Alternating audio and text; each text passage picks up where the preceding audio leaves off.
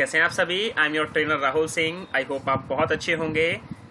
Guys आज की class हमारी मोस्ट इंपॉर्टेंट होने वाली है, जो कि बहुत डिमांडिंग है और आपकी डिमांड के बिहाफ पर ही मैंने ये वीडियो बनाई है जिसमें मैं आज आपको सिखाने वाला हूँ सेल रेफरेंसेस क्योंकि फॉर्मूले जब आप लगाते हैं तो आपको बहुत ज़्यादा प्रॉब्लम क्रिएट होती है। तो सो गाइज़ आज मेरी इस वीडियो को देख लीजिए स्टार्टिंग से लेकर एंड तक ज़्यादा बड़ी वीडियो नहीं होगी ठीक है? सात आठ दस मिनट की वीडियो है और इसमें आज आपको सेल रेफरेंसेस से रिलेटेड सारी की सारी इन्फॉर्मेशन मैं, मैं प्रोवाइड करूँगा। जिन्होंने मेरा चैनल अभी तक सब्सक्राइब नहीं किया है चैनल को सब्सक्राइब कर लीजिए। मेरी ऑल वीडियोस जितनी भी हैं चैनल पे जाके आप देखिए सारी की सारी video most most most important है। कैटेगरी वाइज मैंने वीडियो डाली हुई है और इनको सीखकर आप डोमेस्टिक एंड कॉर्पोरेट सेक्टर में जॉब बहुत आसानी से कर सकते हैं।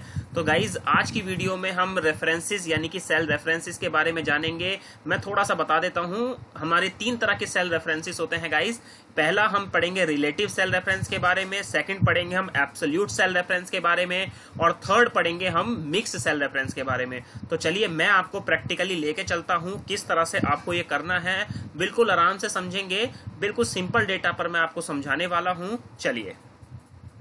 नाउ गाइस देखिए, यहाँ पर मैंने कुछ डेटा बनाया हुआ है, जिसमें हम पहले जो कंसेप्ट को समझने वाले हैं, वो रिलेटिव सेल रेफरेंसेस हैं। देखिए, यहाँ पे एम्प्लॉय कोड ये सेल्स मैंने डाल दी यहाँ पे जनवरी की और ये सेल्स हमारी फरवरी की।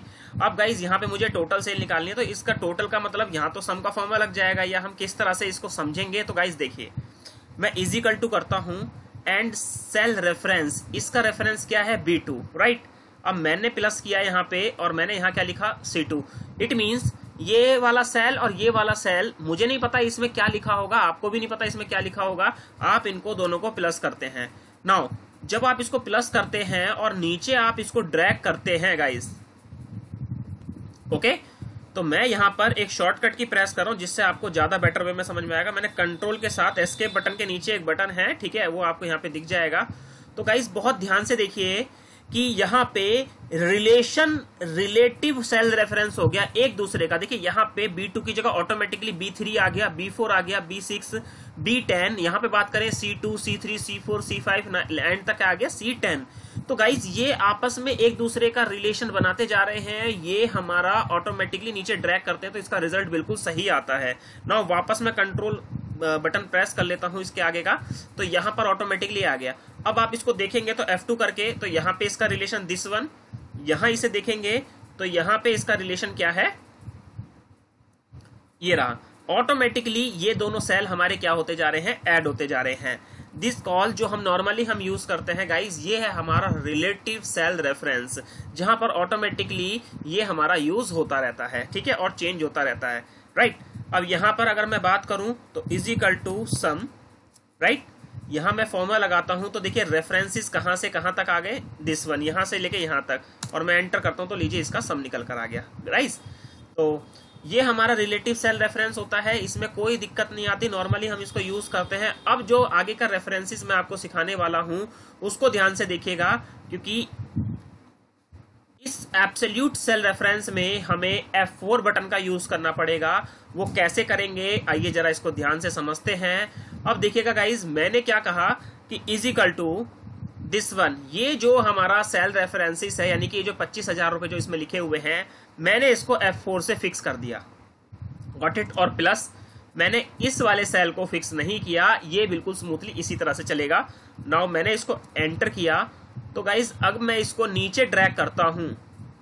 तो गाइज़ आप ये ना समझे कि इन दोनों का प्लस यहाँ पर हो गया है, नहीं। अब इसको फॉर्मूले को हम एक बार देखते हैं। कंट्रोल के साथ ये बटन दबाते हैं। एसके के नीचे वाला बटन है, ठीक है? ये मैं बता देता हूँ कौन सा बटन है। दिस वन ओके तो ये वाला बटन आप यूज़ करेंगे।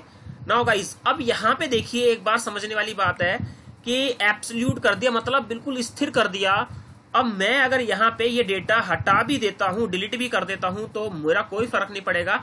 इसका रिलेशन मेरा इसके साथ, इसी का रिलेशन इसके साथ, यानी कि ये वाला सेल जो है मुझे यहाँ पर इन सबके साथ ऐड करना था। तो इसको मैंने क्या कर दिया यहाँ पे? इसे क्या बोलेंगे हम? फिक्स कर दिया मैंने। और फिक्स किस चीज़ से किया है गाइज़ मैंने इसको? मैं बात करूँ यहाँ पे। तो मैंने इसको किस से फिक्स कर दिया? F4 बटन से मैंने इसको फिक्स कर दिया। गॉट इट तो यहाँ पे देखिए कॉलम एंड रो ये दोनों की दोनों मेरी क्या हो गई फिक्स हो गई। ओके तो चलिए, मैं इसको वापस लेके चलता हूँ। नाउ गाइज़ ये हमारा हो गया absolute cell reference now third one अगर मैं आपको समझाऊं तो बहुत ध्यान से समझिएगा। मिक्स सेल रेफरेंस मैं आपको समझाने जा रहा हूँ। मोस्ट मोस्ट मोस्ट इंपॉर्टेंट है। आइए जरा देखिए। शीट थ्री पर मैं गया यहाँ पे। अब सिचुएशन इस तरह से आपकी आ जाएगी। कई बार ऐसी सिचुएशन आपकी आएगी जिसमें आपको इस तरह से आपको डेटा क्या है सॉल्व करना होगा कि भाई मुझे कमीशन दी है। कमीशन का ये मेरा क्राइटेरिया दिया हुआ है, इतनी ये मेरी कमीशन है। अब मैं चाहता हूँ कि भाई इस दस हज़ार का दस परसेंट यहाँ पर आ जाए। इस दस हज़ार का यानी कि यहाँ तक ये चीज़ें क्या हो जाए सॉल्व हो जाए। राइट देखिए कैसे इजिकल टू अगर मैं यहाँ पर इस सेल का इंटू करता हूँ, इस सेल में सो so गाइज़ मैं इसको एंटर करता हूँ तो देखिए एक हज़ार आ गया। लेकिन जैसे ही मैं इसको ड्रैग करूँगा, ये देखिए क्या आ रहा है। इधर ड्रैग करूँगा तो यहाँ पे देखिए क्या है। ये क्या कर रहा है गाइज़ कोशिश करते हैं समझने की, कि अगर मैं F2 करता हूँ तो ये बिल्कुल सही दिखा रहा है भाई, इसने दस हज़ार रुपए का दस परसेंट यहाँ निकाल दिया। लेकिन अब मैं यहाँ पे अगर एंटर करता हूँ F2 से तो गाइज़ देखिए ये B3 थ्री इंटू सी तो इसने सही लिया, लेकिन B3 आगे मूव हो गया, है ना? तो इसी तरह से आप अपने माइंड में सोचिए कि यार, अगर हम बी को ए को, कुछ ना कुछ तो यहाँ पे हमें चीज़ें करनी होंगी। तो गाइज़ यहाँ पे हमें बहुत सोच समझ के चीज़ों को क्या है फिक्स और अनफिक्स करना पड़ेगा।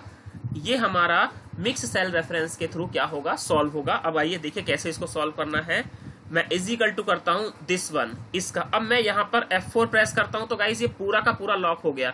Column B and row B एक बार और F4 करता हूँ तो यहाँ पर मेरी रॉ फिक्स हुई है। एक बार और करता हूँ तो ये मेरा कॉलम फिक्स हो गया। ठीक है? यानी कि जिससे पहले डॉलर का साइन लग जाता है, वो हमारा फिक्स हो जाता है। अब इंटू करते हैं। यहाँ पर मैं जो मेरी ये रॉ है, इसको फिक्स करता हूँ, लेकिन कैसे? मैं एफ़ फोर करता हूँ तो ये मेरा पूरा फिक्स हो गया। एक बार और करता हूँ तो देखिए यहाँ पे टू यानी कि मेरी रॉ फिक्स हो गई। अब ये रॉ तो ये आगे चलेगी, यहाँ पे आगे चलेगा C two D two E two F two यानी कि टू होना चाहिए। और यहाँ पे बात करें तो A three A four A five इस तरह से मैं एंटर करके देखता हूँ एक बार। तो लीजिए गाइज़ यहाँ पे देखिए वन थाउज़ेंड तो आ गया। नीचे मैं इसको आगे ड्रैग करता हूँ पहले। देखिए गाइज़ क्या बात है।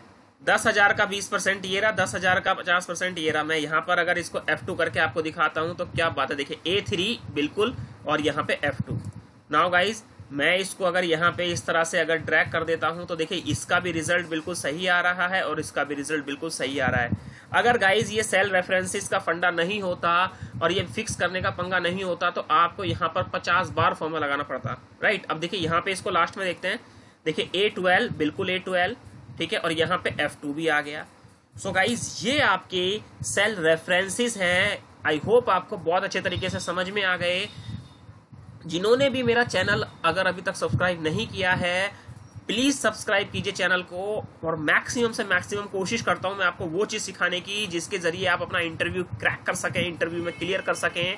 और अपनी जॉब पा सकें। मेरी सारी की सारी वीडियोस यहाँ पर अवेलेबल हैं। नई पुरानी सारी की सारी टैली से रिलेटेड है एक्सेल से रिलेटेड है वर्ड से रिलेटेड इनकम टैक्स से रिलेटेड है अकाउंट से रिलेटेड है बिज़ी से रिलेटेड है राइट और आपके यहाँ पर आर्ट से रिलेटेड भी कुछ वीडियोस अपडेटेड है, यहाँ पर अपलोड है। सो गाइज़ चैनल को सब्सक्राइब करें शेयर करें लाइक करें कमेंट करें कि आपको कोई चीज़ अगर प्रॉब्लम होती है तो प्लीज़ मुझे ज़रूर बताएँ। So thank you so much for watching my video. Have a nice day. Take care. Be happy always guys.